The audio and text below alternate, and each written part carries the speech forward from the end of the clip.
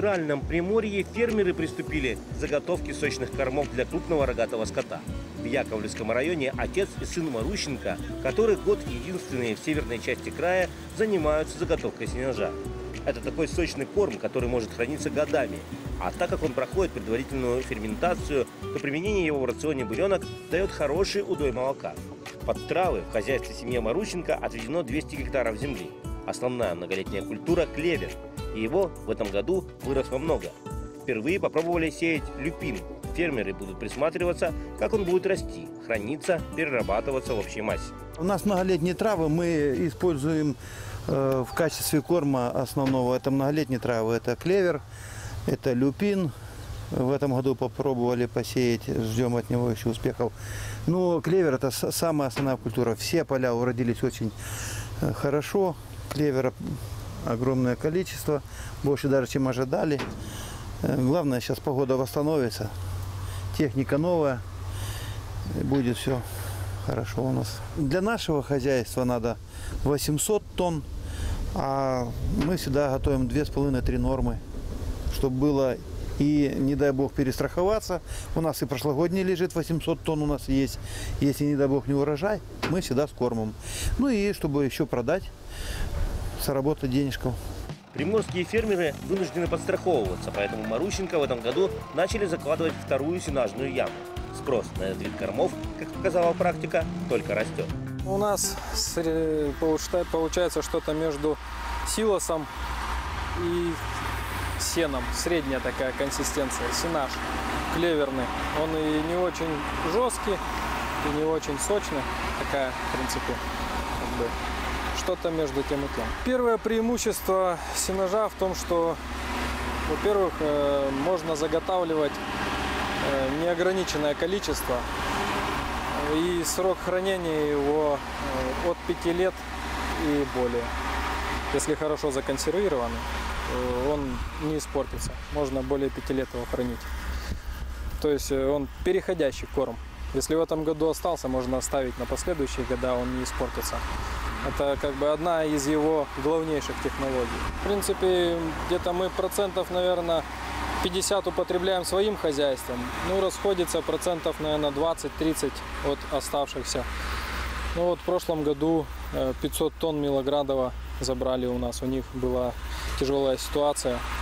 Они вывезли от нас 500 тонн. Ну, хотели бы еще, но у нас, к сожалению, больше не было. Ну вот с прошлого года у нас осталось в этой яме где-то тонн, наверное, 700-800 лежит еще. Ну, хотелось бы, конечно, чтобы побольше приобретали таких кормов, потому что намного лучше, чем сено. Удои с него выше намного. Мелкое хозяйство сенажом заниматься, конечно, не по силам им будет, потому что это, во-первых, надо э, объем техники иметь и объем полей с посевами. На 20 гектарах не будешь заниматься сенажом. Хотя бы гектар 200-300 надо иметь и единиц 6 техники. За опытом едут?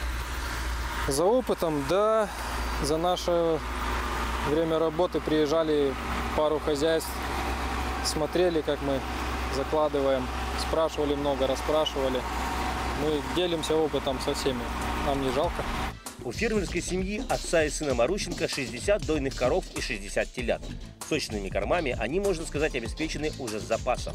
В этом году собирать зеленую массу стало еще проще. Новенький комбайн они приобрели в кредит, причем на льготных условиях. Дон 680 2017 года выпуска отечественный производитель продал приморским аграриям с 20% скидкой. В Приморье таких комбайнов всего 4 экземпляра. Плюс еще по государственной программе «Техническое перевооружение села». Субсидию в 1 миллион рублей обещала погасить краевая администрация. Итого из 4 миллионов рублей яковлевским фермерам останется отработать всего половину стоимости.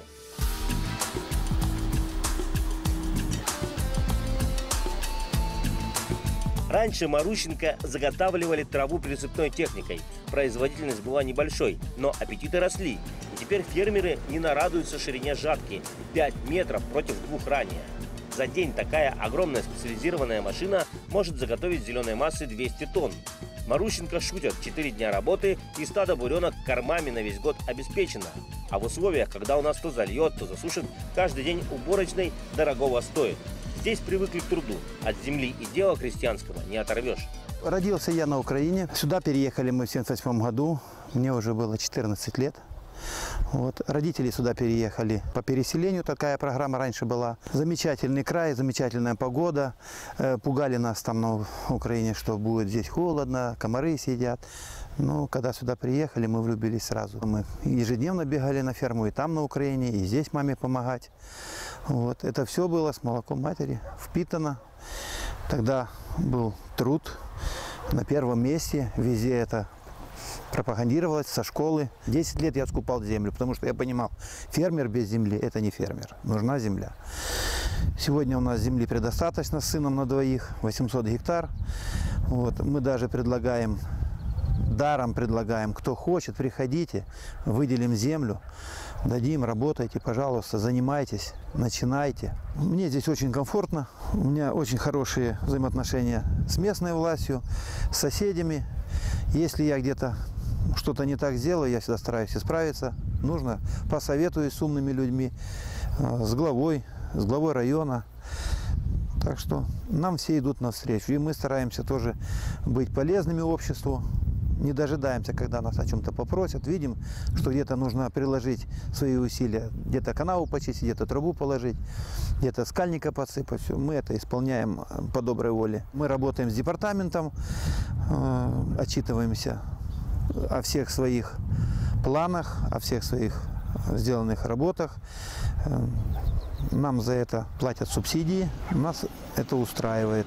Берем кредиты, покупаем новую технику, э, нас поддерживают, нам компенсируют где процентную ставку, вот, э, где дают э, первоначальный взнос, это хорошие деньги, не могу сказать, что маленькие. Мне давали и 600 тысяч на приобретение трактора, я был очень рад, потому что сам бы я никогда в жизни не смог бы себе позволить приобрести тот трактор.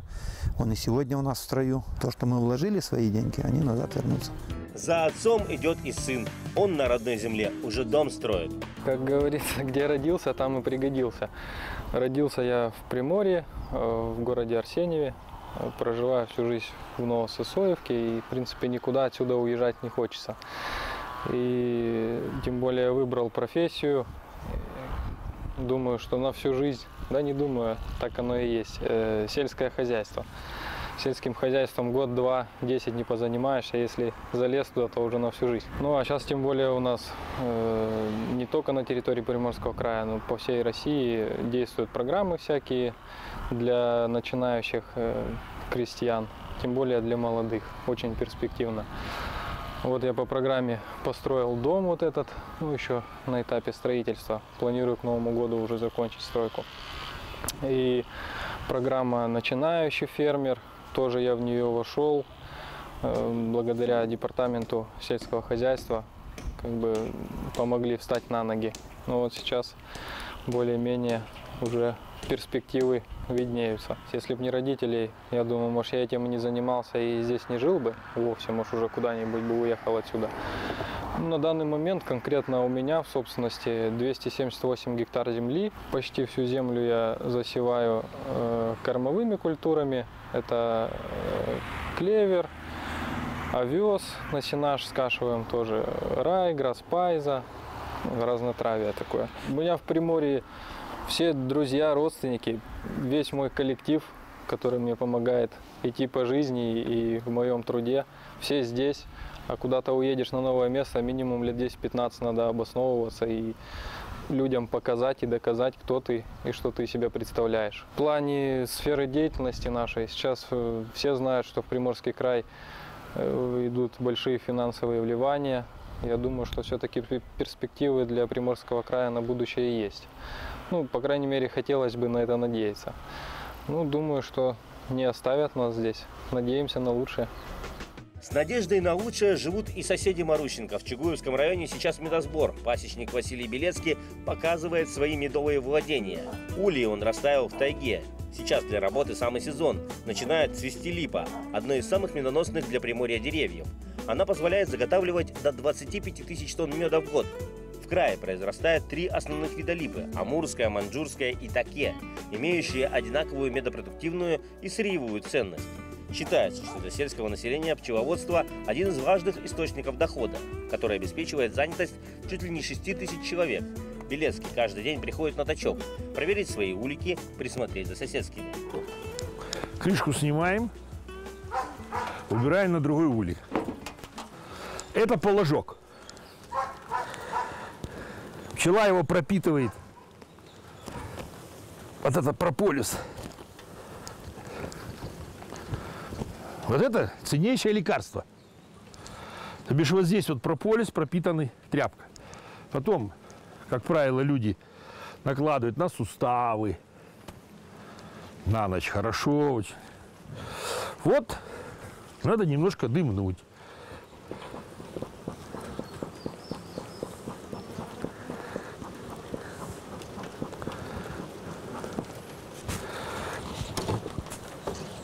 Вот во вторник мы ставили искусственки. Это рамочки свеженькие. Сейчас проверим.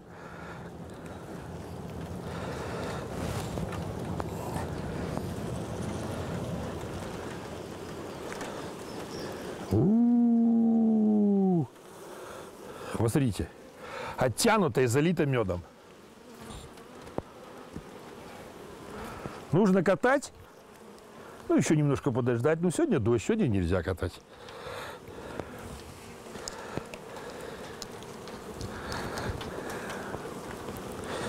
Вот еще рамочку посмотрим. Пчелки, видишь, дождь идет, поэтому они жужжат. Вот, а видишь, как залито медом. Ах, это уже так сильно меня кусают. Вот смотрите, видите как? О, залито медом. В последнее время сюда повадился ходить и медведь. Дикий зверь крадет мед. Но проказа животного не такая страшная напасть, как отсутствие закона на запрет о вырубке липы. Все-таки, как идет рубка липы, жалко становится. Просто жалко. Завтра что останется? Я понимаю, э, арендаторы, э, они что? Ну, зарабатывают сегодня деньги, хорошие деньги, они счастливы. И плевать они хотели на этих пчеловодов. Вот что самое обидно. А завтра что? Завтра они выпилят, они будут хвою пилить. А мы что будем делать?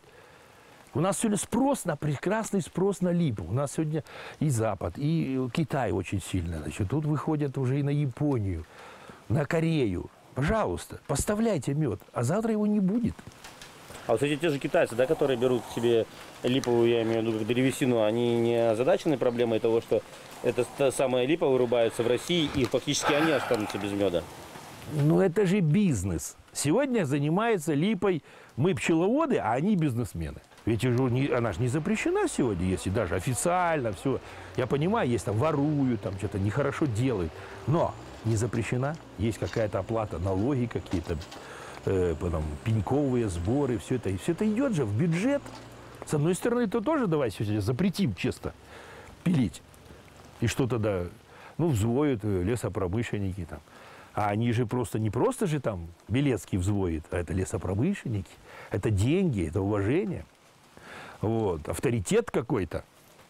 Поэтому в зоны выделить – это единственное сегодня, потому что завести Красную книгу, я думаю, это может быть и неправильно. А вот правильно все-таки идея зоны. Мы можем нарисовать карту, собраться пчеловодами, где у нас липа. Э, у нас, допустим, есть районы, ну, Бреевка, допустим, Березовка. Там, там липа, она есть, но она не выделяет. То бишь уже прохладно там. Ведь липа выделяет, когда вот тепло, когда душно, вот она тогда. А у нас, допустим, за Ясным липники есть, но они не выделяют. Вот здесь за Березовкой они тоже там, сколько не ездили, ничего там. Даже вот Ольгинский район, да, там туманом бьет. Не всегда, ну, как вы, потому что все с Ольги едут в Чугуевский район. Все с Кавалерова едут в Чугуевский район. У нас здесь вот Староверов ключ. Здесь у нас три точка. Наш точок, следующий и еще следующий. Три точка. Вот Тут же и близко дорога. И близко, говорится, вот, коммуникации, будем так говорить. Ключ хороший, питьевая вода. Но здесь вообще место красивое. Ну и достаточно, э, не надо бы здесь вы... Э, хотя уже здесь прошли лес, лесопромышленники. Уже вынесли. Уже много вынесли, но они же бывает заходят второй раз и третий раз. Мы, допустим, были в Полянам, там попилили вот липа, она же еще много липы пустотелой. Ну, Раньше вот липовки даже делали. Пустотел. Вот он свалил, она пустая, он ее бросает. Ну ты вот просверли дырочку, посмотри, пустая нет. Ну здоровые липники вот такие попиленные. И они что, куда-то? Дрова. А слипы, дрова люди не любят. Потому что, как это вот говорит, плохие это дрова. А делать все-таки что-то надо. Надо. Надо как-то останавливать. Надо думать о будущем. Надо, чтобы у нас всегда был мед. И пасеки развивались. Закон хотели принять в прошлом году, но нужно было согласование всех краев и областей Дальнего Востока. В Хабаровском крае выступили против, и липу по-прежнему рубят. Сейчас Приморье работают над еще одним документом. Планируют создать отдельные зоны, где липа будет под охраной. Одной из таких территорий может стать Чугуевский район. Если сохранить липу, у Приморья есть все шансы для того, чтобы совершить экономический рывок. Когда-то у нас давали таежный мед, аналогов которому нет нигде в мире. Помимо пчеловодов и экологов над новым законом работают в администрации края. Как только все территории определят, документ передадут в законодательное собрание. Возможно, уже депутаты поставят точку в липовой истории. А с прилавков ярмарок не исчезнет уникальный приморский липовый мед.